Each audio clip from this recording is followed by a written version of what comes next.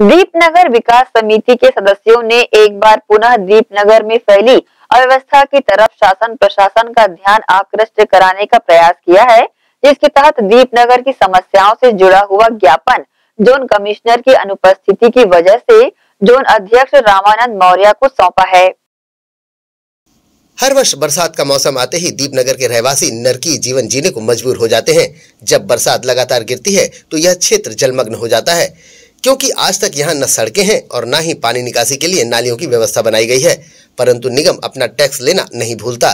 पूरा टैक्स अदा करने के बाद भी दीपनगर के रहवासियों को मूलभूत सुविधाओं के लिए भी तरसना पड़ रहा है।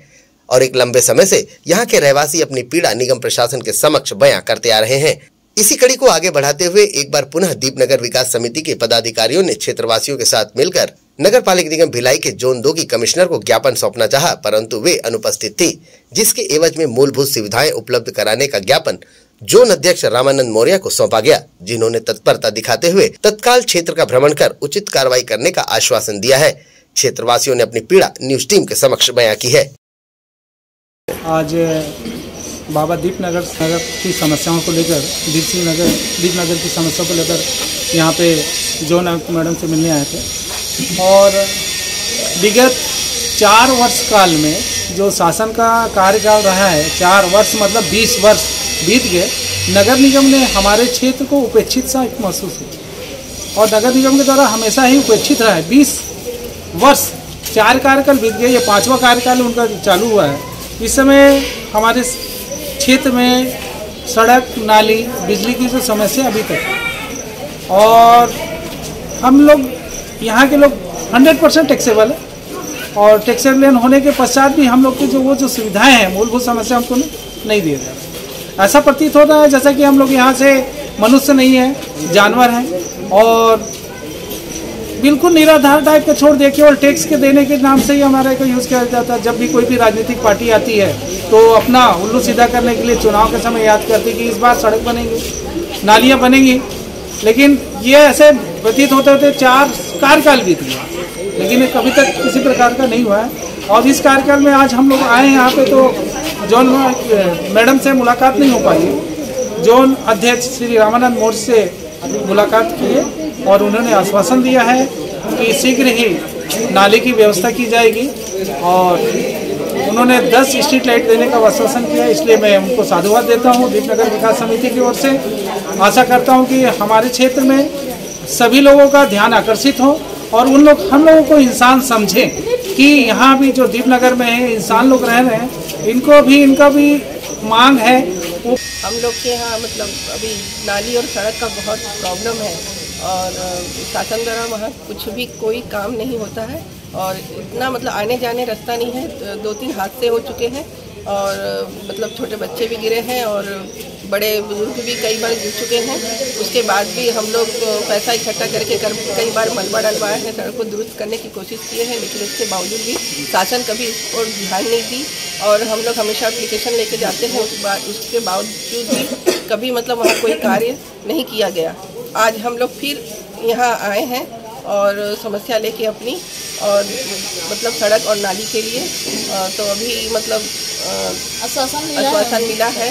कि नाली और अभी थोड़ा बारिश की वजह से सड़क का काम तो नहीं हो पाएगा लेकिन उसके जगह मलबा डलवा के उसको थोड़ा आने जाने की व्यवस्था ठीक करेंगे।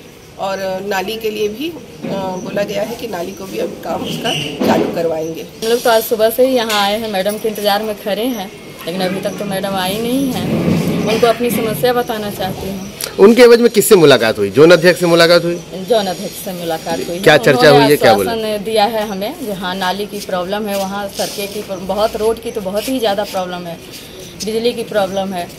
तो वो आश्वासन दिए हैं जो कुछ काम होगा अभी जैसे लाइट उन्होंने बोला है लाइट का तो तुरंत बोले हैं जो काम चालू करवाऊँगा। और नाली के लिए भी बोले हैं जब पानी का निकासी हो जाए तो फिर वहाँ की समस्या कम हो जाएगी। बाबा दीप सिंह नगर में तो अभी कोई भी सुविधा नहीं है। जबकि सभी जन जितने भी हैं वहाँ के वार्डवासी हैं, सभी अपना टैक्स देते हैं टाइम पर। सभी चीज़ करते हैं, फिर भी उनको, हम लोगों को सुविधा नहीं मिल रही, लेकिन अभी फ़िलहाल आश्वासन मिला है। हम लोग आज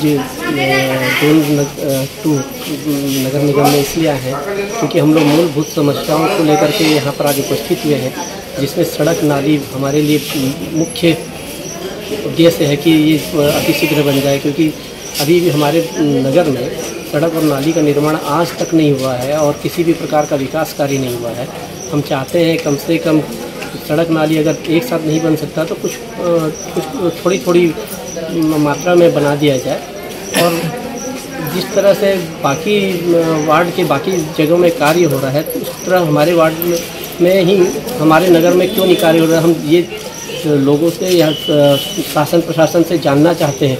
क्या सिर्फ़ हम लोग वोट देते समय याद आते हैं या फिर हम बाकी समय भी नागरिक लगते हैं उन्हें क्योंकि क्या है, अब तक हमारे नगर में किसी भी प्रकार के जब से हमारा दीपनगर बना हुआ है, किसी भी प्रकार की सुविधाओं का अभी तक कुछ भी कोई भी सुविधाएँ हमें मिली नहीं। है अभी भी हमारे यहाँ ये हाल है कि गड्ढे इतने बड़े हो गए हैं जिसके कारण कई बार बच्चे गिर चुके हैं। इस बार एक बुज़ुर्ग का किसी का एक्सीडेंट हो गया था गड्ढे में गिरने से जिसके कारण वो अभी आ नहीं सके हैं। हम चाहते हैं कि इस टाइप की समस्याएँ हम बार बार निगम के सामने रखते हैं फिर भी हमारी सुनवाई नहीं होती। हम आज श्री रामानंद मौर्य जी का धन्यवाद देना चाहते हैं जिन्होंने हमें आश्वासन दिया है कि कम से कम कुछ नाली का निर्माण हमारे नगर में होगा और दस बारह स्ट्रीट लाइट का वो प्रदान करने की। हमें आश्वासन दिए, इसलिए हम उनका हृदय से धन्यवाद देना चाहते हैं। हर वार्ड में वार्ड के जनप्रतिनिधि द्वारा वार्ड के कोने कोने में विकास का कार्य कराया जाता है, ताकि वार्ड में निवास करने वाले वार्ड वासियों को मूलभूत सुविधाएँ उपलब्ध हो पाए। परंतु समझ परे है कि दीपनगर की तरफ़ कोई जनप्रतिनिधि अपनी नज़रें इनायत क्यों नहीं करता? एक बार पुनः दीपनगर विकास समिति ने प्रयास किया है कि उन्हें भी मूलभूत सुविधाएँ प्राप्त करने का पूरा अधिकार है। देखना होगा कि इस बार क्या इनकी मांगे पूरी हो पाती हैं या फिर एक बार दीपनगर के रहवासी उपेक्षा का शिकार हो जाते हैं। ग्रैंड एशियन न्यूज़ के लिए भिलाई से संतोष शर्मा की रिपोर्ट।